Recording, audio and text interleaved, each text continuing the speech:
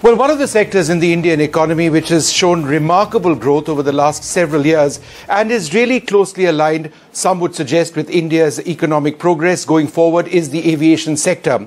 Now, there are plenty of challenges there, but there is plenty of hope and plenty of promise. We've got uh, the Civil Aviation Minister with us, Jyotiraditya Scindia. We are both extremely passionate about aviation. Great to have you. Let me ask you a direct question and ask you for some years or dates in mind. We want India to become an international aviation hub like Singapore, like Dubai, like Doha. Given the pace and the growth, how many more years would that likely take in your estimate? So, first of all, Vishnu, thank you very much for having me. It's always a pleasure to be on the show with you. Uh, aviation has uh, really uh, uh, uh started on its growth curve uh, now in India. Uh, I think a market that was uh, uh, very saturated on the domestic front. Uh, the growth of both, on the one hand, uh, airports uh, from 74 airports in 2014 to 149. I just inaugurated the, a new airport mm. three days ago in Utkela in Orissa. so we are at 149 airports now, not 148. in terms of fleet size, from 400 to 700 um, and in terms of the number of travelers from 6 crores to almost 14.5 crores. What are the projections going forward? The projections going forward are, as far as airports are concerned, touching 200 to 220 by 2030. Uh, as far as um, uh, planes are concerned, going from our current fleet size of 700 to almost about 1500 yeah. uh, by 2030. And similarly, as far as passengers are concerned, uh, going from current 14.5 crores to some studies have projected almost 42.5 crores by 2030. Now that's the phenomenal growth that you see. When that happens, and specifically that must happen on the international side. Yeah. Uh, because until now our carriers have been very concentrated on growing capacity on the domestic side and therefore narrow bodied aircraft. You've now seen uh, carriers like Air India Indigo uh, place orders for uh, 470 aircraft on one hand and 500 aircraft on the other. Uh, both orders comprising of a decent amount of, uh, on the one hand, large body with Boeing and Airbus with Air India, and uh, as far as Indigo is concerned, with A321 XLRs, which can do a distance of almost six, seven hours.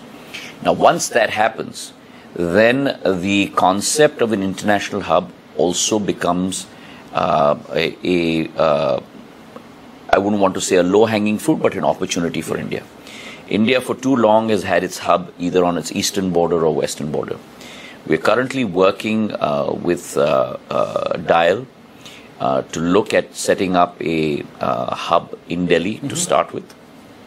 But what I feel is in the next decade or so, the capability of India to have not necessarily only a single hub, but multiple hubs. Yes. One in Delhi, one in South India, uh, one on western the western side.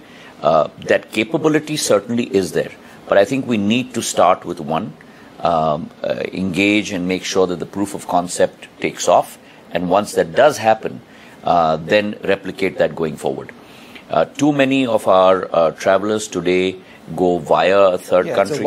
And I, and I think it's important to, instead of six freedom, really looking at direct flights uh, and therefore creating that hub structure within India. So, to answer my question, five years before we get at least one truly global hub, given the pace of expansion, or 10 years?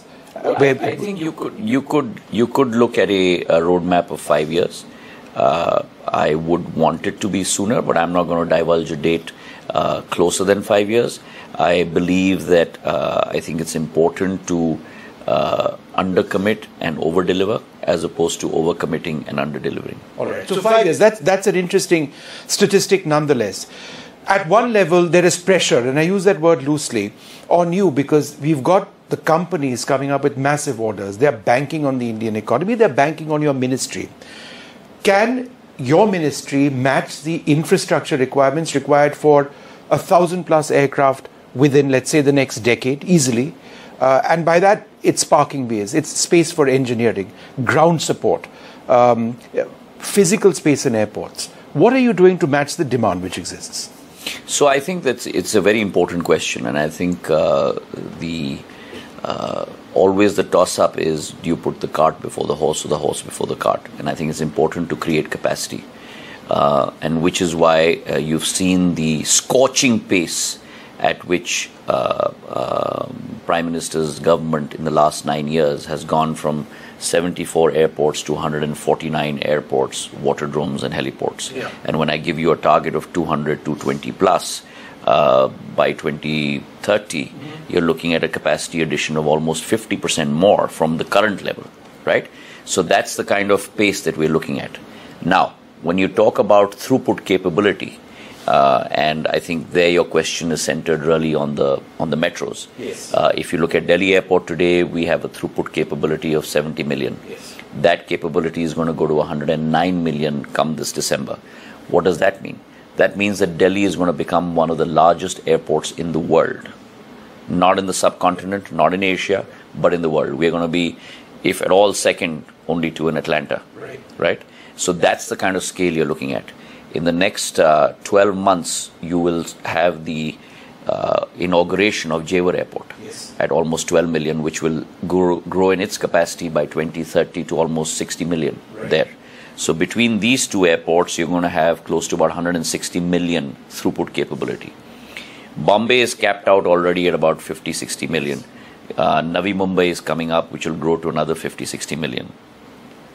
Chennai, we're uh, growing capacity from 25 million to almost about 45 million. Uh, similar is the case in Hyderabad. Uh, Calcutta at 35 million going to 55 million. Right. So therefore, current six metro capacity in India, which is in the range of about 220 million throughput capability, is going to go to almost 430 million uh, in the next four to five years. So, uh, in terms of uh, being able to cater to growing passengers, I think that's something that we have already planned for. Having said that, the private sector and the public sector has a very aggressive infrastructure capex plan in place, uh, close to about 98,000 crores yes. over the next three to five years, uh, of which Airports Authority of India has a capex plan of roughly 25,000 crores, and the balance 63,000 crores is the private sector. Uh, uh, AI is going to look at uh, expansion of almost 42 brownfield airports and three greenfield airports, out of which one has already been built up in terms of Hollongi. Uh, similarly, the private sector in their 63,000 crore capex is looking at seven greenfield, uh, brownfield airports and uh, two greenfield airports, out of which Mopa Goa, three greenfield airports, out of which Mopa Goa has already been built out, and Jewar and Navi Mumbai is being built out. So there's a huge thrust in civil aviation.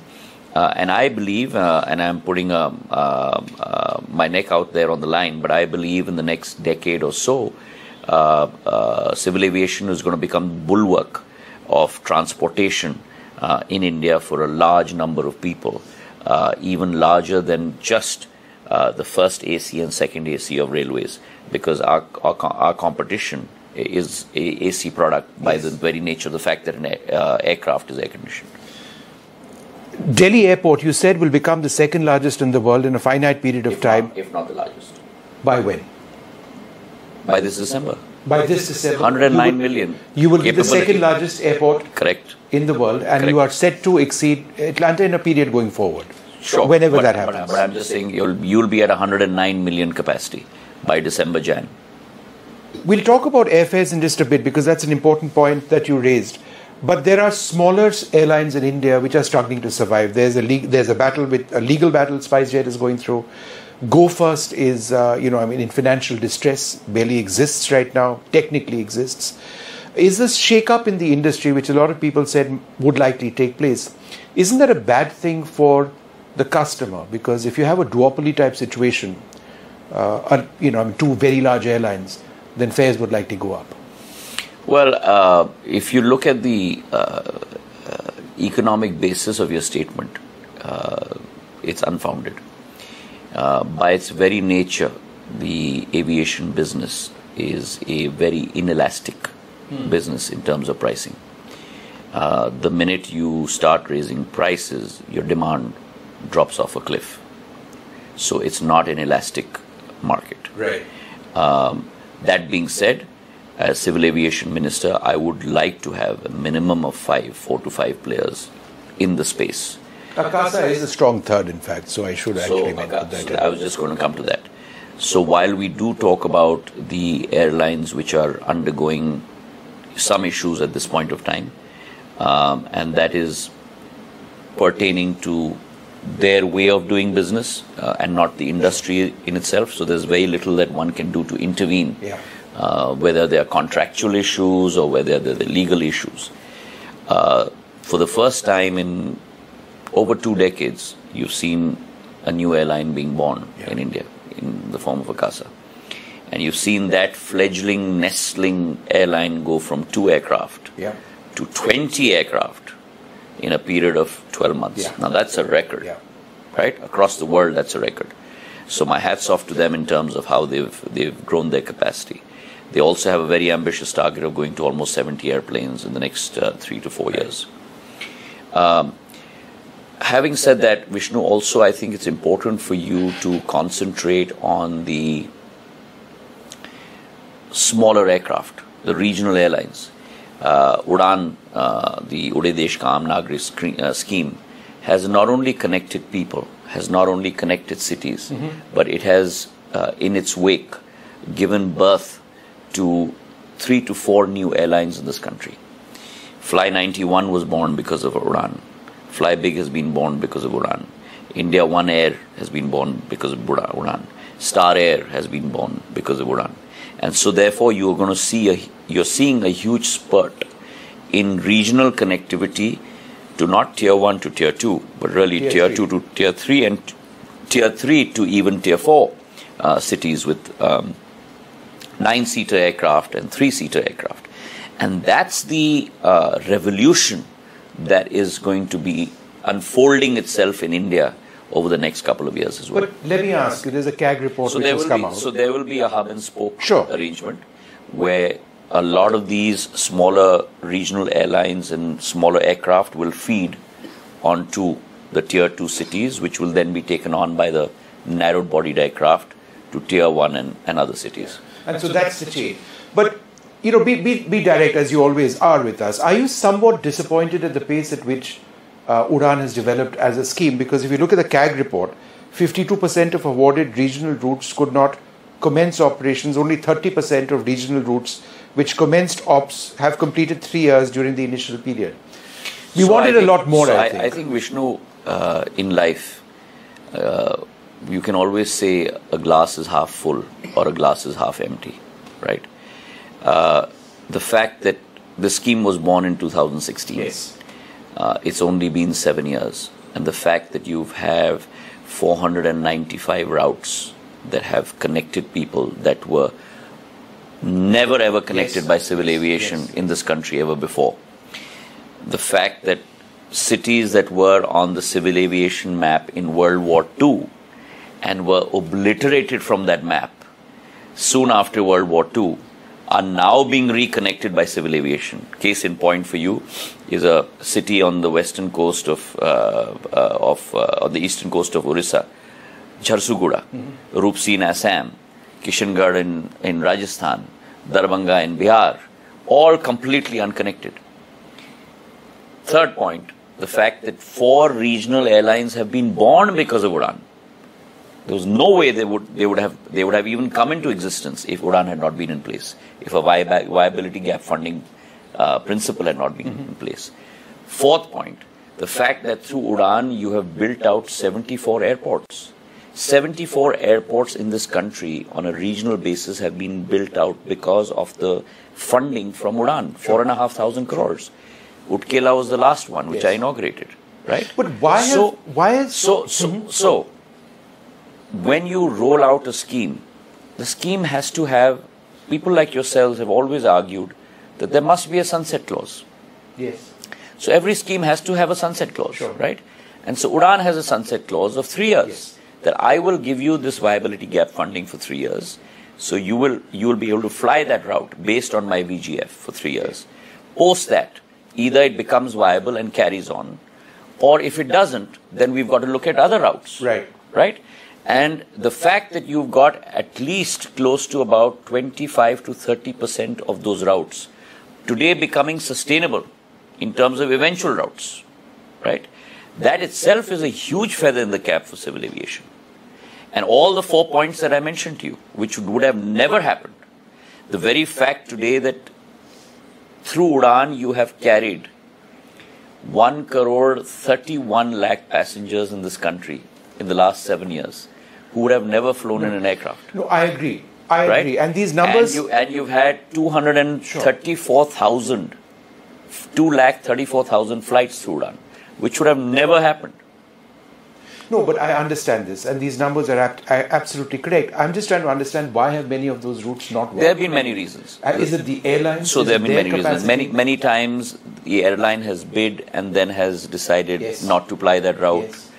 Many times uh, the airline has started a route and then it's had some because it had only one aircraft and the aircraft had an engineering problem and it went it it uh, uh, got uh, uh, grounded and therefore it's not been able to finish that route.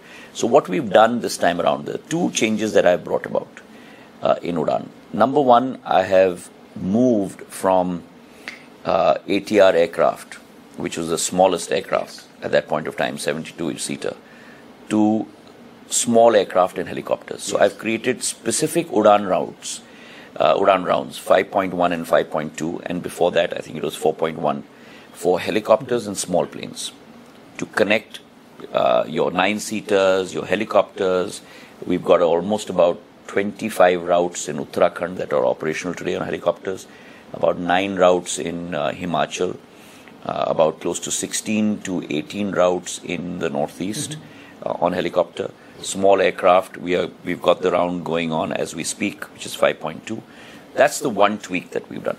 The second tweak that we are, we are contemplating and thinking of doing is we're going to put in place a, uh, a structure such that if you come in and bid for a route and then you do not ply that route, maybe in two months or three months, there is some kind of a penalty on you sure. as well, right? And that will wean out the not so serious players and make sure only the serious players actually right. come in and bid for those routes. Yeah. So we are doing that as we as we go along as well. Yeah there was criticism, and I think a part of it was somewhat unfounded on airfares going up massively. The other thing that we are yeah. also thinking of doing is right now Udan is uh, limited to 500 kilometers or 600 kilometers in terms of uh, distance. So, uh, therefore, what you do by doing that is you actually limit your your radial, right. you limit your radius. So you increase that. So, so what we are thinking of doing is saying you can fly as far as you want, and this is still on the drawing board but the VGF, the viability yeah. gap funding, will be only be for that 500 off, let's say, for example, a thousand kilometer right. route.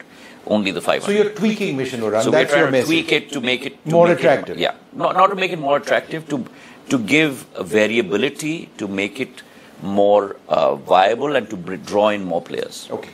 Um, you know, there was this period a couple of months back where um, last minute fares went up massively in yeah. only a handful of sectors. Uh, and the argument which was raised that look, you know, these these prices are uh, are huge, uh, but they did settle within days. In fact, almost in all cases. So, so to what extent does the government need to be involved in regulating so, fares, so or first, should it? So, first of all, uh, civil aviation is a deregulated sector.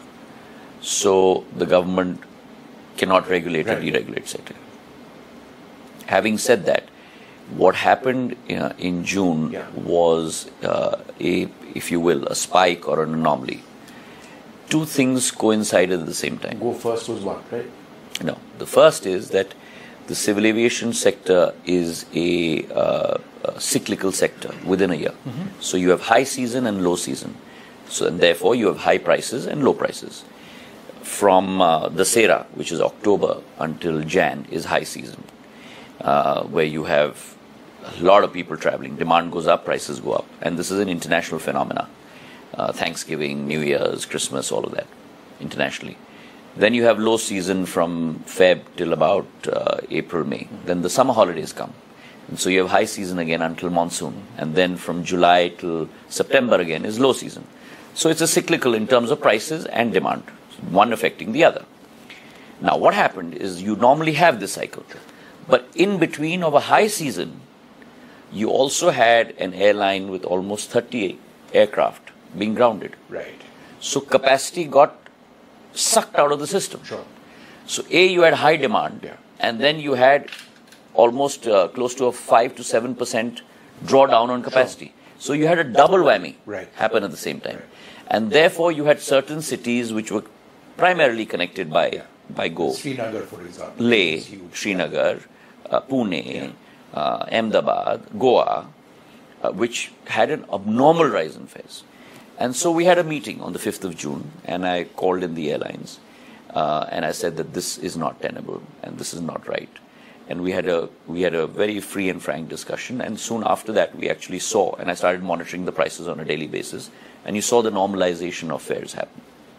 All right, one final question heliports. Um, helicopter aviation in this country is still fledgling. Uh, you've spoken briefly about that. Uh, what more do you think needs to be done to encourage helicopter aviation in India? So what we've done is uh, uh, we've done taken a number of steps. So first of all, I brought about a new helicopter policy where I dismantled a lot of the regulatory uh, um, conditions, making it easier for people to f- uh, to fly helicopters. Um, in terms of permissions, and and uh, we put up a, a heli portal for permissions, direct permissions. We circulated a Heli Disha booklet to all 600 collectors across the country uh, to make them understand the parameters that a helipad must have, what are the radial distances from obstructions that should be in place. Uh, and along with that, we started bringing out this new um, Udan round just for helicopters. And we've actually seen a proliferation of that happen. Uh, uh, I firmly believe that now, as people are getting used to, and we also have a VGF system. Yeah.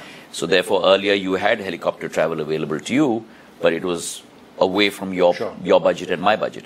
Now, with this VGF, you've actually brought the prices down to almost three and a half or four thousand rupees for a particular sector, Badrinath, Kedarnath, and so on and so forth, or the Northeast, for example. And therefore, now people are availing of these facilities. And I will, I think there will be a growth in both helicopter fleet as well as flying uh, in the in the days to come. Uh, as soon as this Udan uh, round is, uh, is I didn't out. ask you about uh, flight safety. Uh, I know it's a huge, huge issue for you, perhaps top of your mind. Um, you know, there is this issue of boorish passengers, and it's not unique to India, it happens all over the world. Correct. That said, you know, we have to set a very firm signal. Do you believe that the system in putting people on a no fly list is strong enough? Do you, are you constantly revising that? What have been some of your conversations with airlines in this regard? So, as far as uh, unruly passengers are concerned, uh, uh, that's a uh, wild card, if you will, Yeah, if I may use that term, uh, because no one knows how you or I are going to behave when we board a flight. But having said that, I think it's important to, as you said, uh, to set uh, examples and to set precedents. And we have been extremely strong on coming down on any unruly passenger on any of our airlines, uh, whether it is through following the legal process, whether it is putting that person on a no fly list for an extended period of time, and so on and so forth. Whatever uh, uh, uh, processes we have at our command, we use those completely to make sure that when you fly, you're not only responsible for yourself, you're responsible for everyone else on that flight. And then you need to board that plane with that sense of responsibility. Wonderful speaking to you, Minister. Uh, Jyotiraditya Scindia telling us a lot about the future uh, of uh, this particular sector. It is tremendous. There are no two ways about it. It's really a question of when India becomes even larger than we are in terms of becoming a truly global hub. Uh, but the potential is incredible. Uh, the demand is also incredible. There's so much to discuss in this. We'll take a short break, come back with a lot more.